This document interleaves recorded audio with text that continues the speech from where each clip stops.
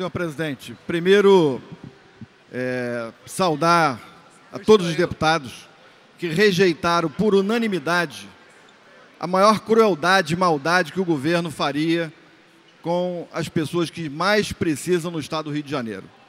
Eu tive a honra de expandir o programa Renda Melhor e Renda Melhor Jovem para todo o estado do Rio de Janeiro, na sua implantação, com muita responsabilidade, cuidando das contas, para que nós pudéssemos suportar esse programa dentro do orçamento da assistência social e direitos humanos.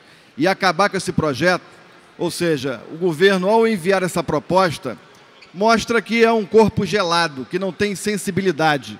Mas esta casa não. Esta casa que representa o povo do Estado do Rio de Janeiro teve a sensibilidade suficiente de rechaçar, por unanimidade, a maior crueldade que poderia ser feito com quem mais precisa. Eu quero desafiar o governador Pezão a que ele pegue 100 reais por mês, que é o que representa o programa Renda Melhor, e passe com esses 100 reais 30 dias eu duvido que ele passasse meia hora.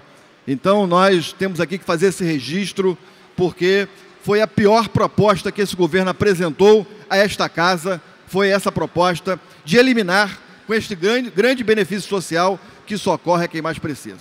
Segundo, senhor presidente, declarar aqui o meu voto contrário à modificação dos critérios de concessão do bilhete único e da tarifa que é cobrada hoje.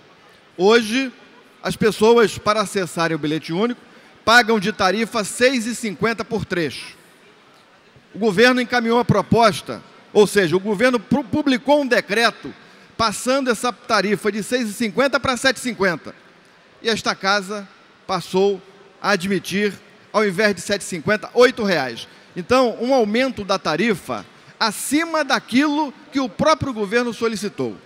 Segundo, é, entendemos que esse benefício social já está sendo garantido a toda a população. Nós estamos restringindo direitos. Poderíamos restringir os direitos para aqueles que teriam é, a necessidade efetiva fazendo um corte social dentro das características da empregabilidade do Estado do Rio de Janeiro. E entendemos que o corte foi muito baixo, por isso o nosso voto contrário além de aumentar a tarifa, o corte foi baixo e muita gente vai ter um acréscimo na sua passagem, porque não vai ter mais o direito ao bilhete único e terá que pagar a tarifa integral dos seus deslocamentos. Então, essas são as razões para que o meu voto fosse contrário à mudança na forma de concessão e pagamento do bilhete único. Muito obrigado.